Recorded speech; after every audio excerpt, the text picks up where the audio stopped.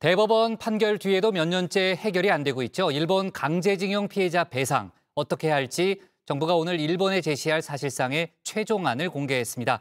국회 공개 토론회를 통해서인데요. 피해자 측은 토론회 전부터 반발하고 있고 또 일본이 호응할지 역시 미지수인 상황입니다.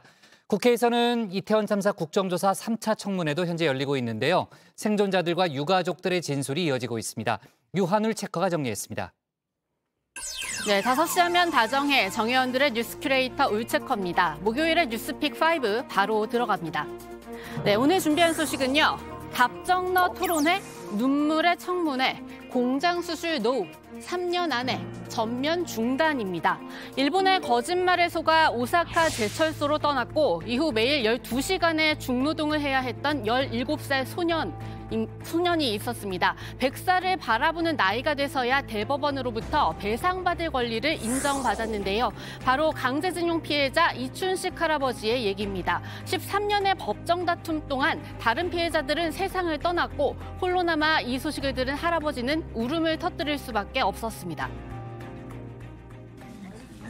였는데 오늘 나 혼자 나와서 이렇게 내가 마음이 슬프고 눈물이 많이 나오고 멍때리고 울고 싶고 마음이 아프고 서운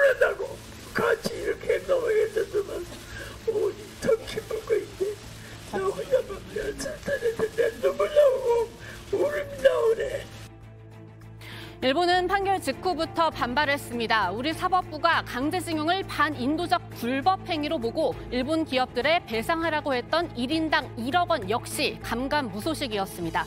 그리고 판결 1년 뒤 일본은 오히려 우리나라의 수출 규제라는 보복성 조치에 들어갑니다. 국민들은 분노해서 거리로 나왔고 이춘식 할아버지는 또 눈물을 보였습니다. 일본의 수출 규제 조치에 대한 항의 표시로 만국기에서 일장기를 모두 뺐습니다. 시민들도 분노했습니다. 아 화가 나지. 막 심장이 뛰고 막 화가 치밀어가지고 미치고 마음이 막 떨리고 그렇네요. 마음이 아파서 눈물 나오지. 나, 나, 나 때문에 우리 그 대한민국 손해간지도 모르겠네. 내 하나 때문에 그런 거 같아. 그 뒤로도 시간은 계속 흘렀고 정권은 바뀌었습니다. 하지만 할아버지는 물론이고 대법원이 확정 판결을 내린 강제징용 피해자 15명의 배상 문제는 여전히 해결이 안 됐죠. 그리고 이 배상 문제는 한일 외교 현안이 잘 풀리지 않을 때면 일본이 문제로 삼는 지점이 돼버렸습니다. 이 성사될 듯 성사되지 않았던 지난 9월 한일 약식회담 당시 일본 언론이 가장 관심을 보인 것도 바로 강제징용 배상입니다.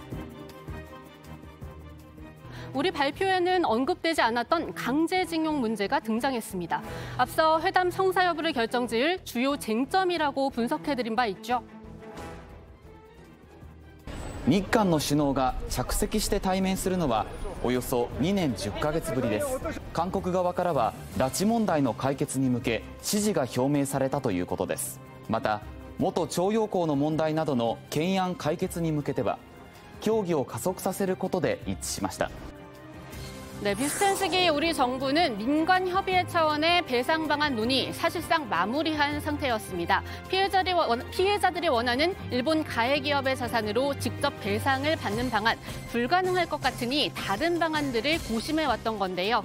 오늘 사실상 최종안이 공개됐습니다. 국회에서 열린 공개 토론회를 통해서입니다. 일부 피해자와 대리인단이 보이콧한 상태였습니다. 토론회 자료 외교부가 보안상의 이유를 들어 공개하지 않은 것을 문 문제 삼은 겁니다. 민주당도 같은 이유에서 토론회에 참석하지 않았는데요. 이 때문에 원래 한일 의원연맹 차원에서 주관하려던 오늘 행사 연맹 회장인 정진석 국민의힘 비대위원장 이름만 올린 채 열렸습니다. 정 위원장은 비대위원들을 대동하고 토론회장에 나타났습니다. 토론자로 참석할 분들에 대해서 발제문도 보내지 않는 그럼 들러리 세우겠다는 그런 야바이판 세상에 듣도 보도 못한 야바이판이다. 이런 식으로 미봉하고 이런 식으로 야바이판으로 덮어버릴 수 없다 생각합니다. 우리 국민들이 용서하지 않을 것입니다.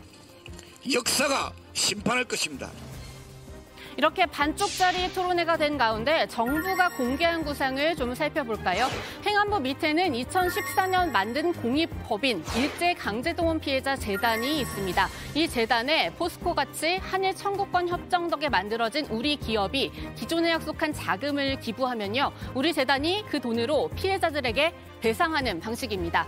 그렇다면 일본 가해 기업들은 어떻게 되느냐 궁금하실 텐데요. 정부는 우리가 먼저 변제를 시작하면 일본이 호응하는 방식으로 기부에 동참할 거라고 설명하고 있습니다. 한때 구상권 청구 같은 강제적인 수단도 고려했지만 일본이 찬성할 리가 없죠. 2018년 대법원 판결 이후 4년 이상 진척이 없는 상황에서 일단 법적인 관점에서 현실적인 방안을 찾자는 취지였습니다. 검토를 거듭할수록 핵심은 어떤 법리를 택하냐 보다 피해자들이 제3자를 통해서도 우선 판결금을 받으실 수 있다. 받으셔도 된다는 점에 있다고 생각하게 되었고 네, 현실적인 방안이다. 정부 측은 거듭 강조하는데요. 이렇게 되면 불법 행위 인정한 대법원 판결에 따른 이행이 아닌 일본의 자발적 참여라는 구색을 갖춰주는 셈이 됩니다.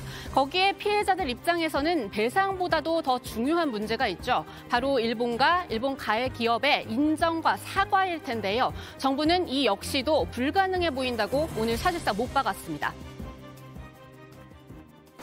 최선의 방안은 일본 정부가 법적 책임을 인정하고 일본 기업이 배상하는 방안입니다.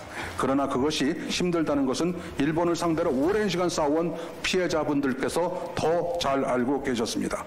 다음은 일본의 기업이 참여하고 사과하는 방안입니다. 이 또한 현재까지는 어려워 보입니다. 정부 측은 앞으로 피해자들의 의견을 듣고 설득해 나가는 과정도 밟겠다고 했는데요. 피해자들은 당연히 반발할 수밖에 없습니다. 이 반발을 예상해서 정부가 오늘 발제문을 미리 공개 안 한 것 아닌가 이런 의심도 거둘 수 없는 입장입니다. 그리고 재단은 이미 이런 방식의 배상이 가능하도록 정관까지 바꿔뒀습니다. 오늘 토론에 최종 의견을 수렴하는 자리라고는 하지만 사실상 답정 너라는 의심을 피해가기 어렵습니다. 사실 답정너 상황이지 않나 싶습니다. 아. 어, 이미 결론은 정해져 있는 것 같고요. 어, 그 결론을 통과시키기 위한 통과 의뢰 자리, 예. 뭐 형식적인 자리로서의 토론을, 토론회를 준비하고 있지 않나 싶은 생각이 들었습니다. 그래서 일본 측의 사죄나 일본 측의 어, 출연이 없이 이렇게 진행된다면 내가 왜 그 돈을 받아야 되느냐. 음. 나는 불우유독기 대상자는 아니다라는 음. 취지입니다.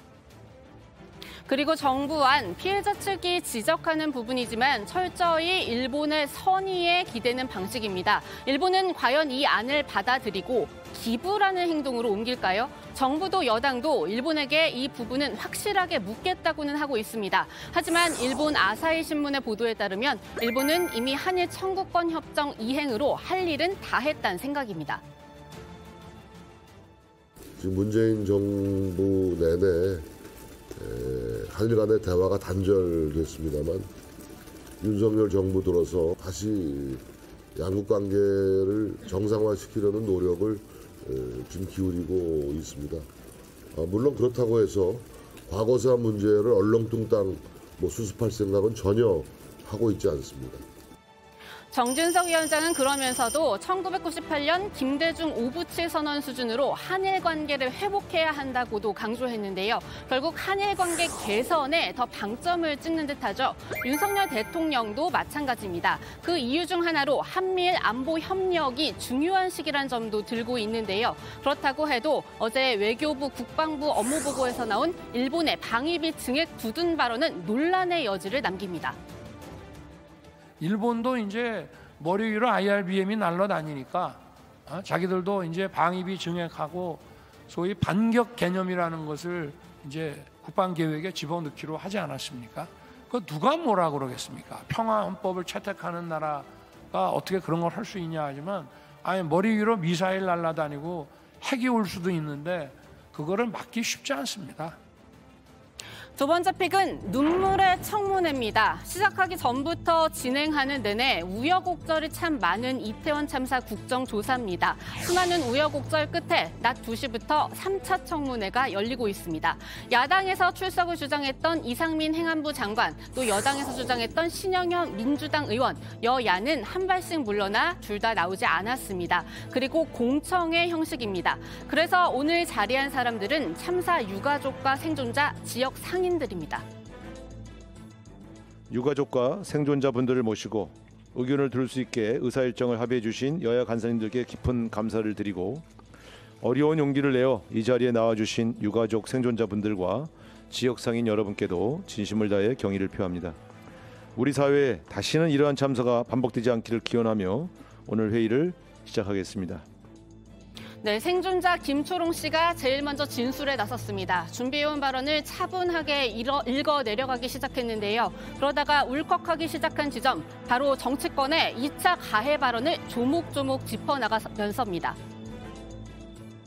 저는 강한 사람입니다. 심리 상담도 자발적으로 잘 받고 있습니다. 그렇기 때문에 악성 댓글이나 온라인에서 사람들이 하는 말이 저를 힘들게 하진 않았습니다. 저에게 2차 가해는 장관, 총리, 국회의원들의 말이었습니다. 참사 후 행안부 장관의 첫 브리핑을 보며 처음으로 무너져 내렸습니다. 예전에 비해 특별히 우려할 정도의 인파는 아니었고 경찰 병력을 미리 배치해 해결할 수 있는 문제는 아니었다. 저는 이 말을 놀러 갔다가 죽은 사람들이다라고 받아들였습니다. 네, 김 씨는 인간에 대한 이해가 조금도 없고 아직까지 뭐가 잘못됐는지 깨닫지 못하는 자신의 무지함과 비열함에 스스로 열등감을 가져야 한다. 이렇게 꼬집기도 했습니다. 김 씨는 정치권을 향해 이렇게 일침을 가하기도 했는데요. 우리가 사는 이 나라는 그렇게 후지지 않았습니다. 재난 컨트롤 타워가 없는 것도 아니며 시스템이 붕괴되지 않았습니다. 우리는 좋은 시스템을 갖추고 있고 참사 현장에서 본 모두는 삼류가 아닌 인류였습니다. 삼류는 그 위에서 시스템을 잘 돌아가게 지휘를 하지 못한 사람들입니다. 참사의 원인은 유흥과 반문화, 외국 귀신 파티 문화가 아닙니다. 참사의 유일한 원인은 군중 밀집 관리의 실패입니다. 발언을 이어받은 다음 생존자는 현장에서 직접 경험한 초동 대응의 실패를 생생하게 증언했습니다. 올해 결혼을 앞둔 예비 신랑이었던 생존자는 예비 신부와 함께 이태원에 잠시 들렀다가 15분 만에 참사를 당했습니다. 인파에 떠밀려 손을 놓친 예비 신부를 현장에서 잃었다고 본인을 소개했습니다. 구조 인원도 부족하여 사람들을 눕히는 공간도 협소하여 구조 활동은 매우 더디었습니다. 초기 대원은 어떤 신고를 받고 출동했으며 왜 소수 인원만 출동하였는지 의문입니다. 또한 처음부터 많은 인력이 투입되었다면 결과는 달라지지 않았을까 생각합니다. 그렇게 압박은 50분 이상 지속되다 구조되었습니다. 여자친구에게 CPR을 수행하던 소방대원은 다른 부상자를 보러 가야 한다고 저에게 직접 CPR을 수행하라 지시하고 떠났습니다. 이 생존자는 그러면서 그 어느 때보다 슬픔을 공유하고 서로를 위로하는 게 중요한 시기인데 정부는 유가족들이 서로 만날 수 있도록 주선도 안 해주고 있다고도 비판했는데요. 이와 함께 생존자들과 유가족들이 바라는 것 무엇보다도 정확한 진상 규명과 책임자 처벌입니다. 나라와 싸우고 싶지 않습니다. 힘들겠지만 일상으로 돌아가고 싶습니다. 유가족이 일상으로 돌아갈 수 있는 길은 정확한 진상 규명과 모든 책임자 처벌이며 동생을 먼저 떠나보낸 우리 가족에게 가장 큰 위로가 될 것입니다. 네, 자리를 지키며 진술을 듣는 다른 유가족들 그리고 의원들은 눈물을 흘리기도 했는데요. 이태원 참사 국정조사 오늘 공청회가 사실상 마지막입니다. 이제 국정조사 결과 보고서를 작성해 채택하고 17일 활동을 마치는데요. 빈손 국정조사에 빈손 경찰 수사까지 유가족들의 마음만 무너져 내리고 있습니다. 네, 오늘의 뉴스픽은 여기까지입니다. 1, 2픽 모두 워낙 중요한 사안이다 보니 이렇게 달려왔는데요. 3, 4, 5픽도 계속 함께해 주시죠. 뉴스픽 5였습니다.